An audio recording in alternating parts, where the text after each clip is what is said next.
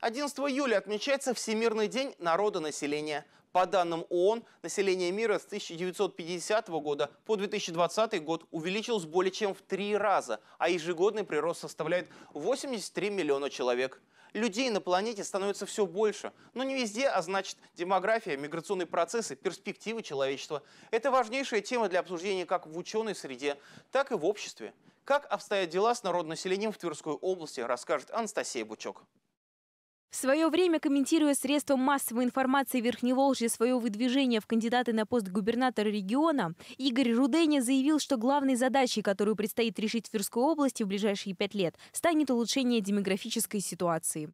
В отличие от ремонта дорог, строек, развития экономики в целом, вопросы демографии только деньгами не решить. На ситуацию влияет состояние общества и уверенность наших граждан в завтрашнем дне. Желание, чтобы их дети жили в престижном регионе, имели хорошую инфраструктуру, образование, здравоохранение, городскую среду, спортивные и культурные события. И сегодня власть действительно прилагает немало усилий для стимулирования позитивных демографических процессов. Однако, согласно специальному докладу о демографической ситуации в регионе, составленному уполномоченным по правам человека Тверской области, в последние десятилетия численность населения Тверской области имеет устойчивую тенденцию к сокращению. По данным Тверстата, с 2010 года она сократилась более чем на 66 тысяч человек. Среди причин – кризис, старение населения, миграция и высокий уровень смертности.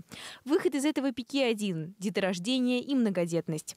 Несмотря на негативные тренды, наш регион и сейчас все еще богат многодетными семьями. По состоянию на январь 2023 года в области насчитывалось 14 492 многодетные семьи, а это на 530 семей больше, чем в начале прошлого года. Активная поддержка многодетных семей включает в себя пособия, выплаты и другие социальные привилегии, которых с каждым годом становится все больше.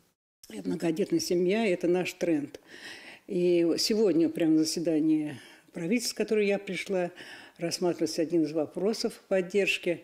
Это для многодетных возможность получения тех, которые имеют пять детей, транспорта. Сегодня увеличилась э, сумма, которая выделяется, будет не один миллион, а полтора миллиона. И еще там ряд моментов знаковых для нашего населения. Но не одних только мер по социальной поддержке складывается демографическая ситуация.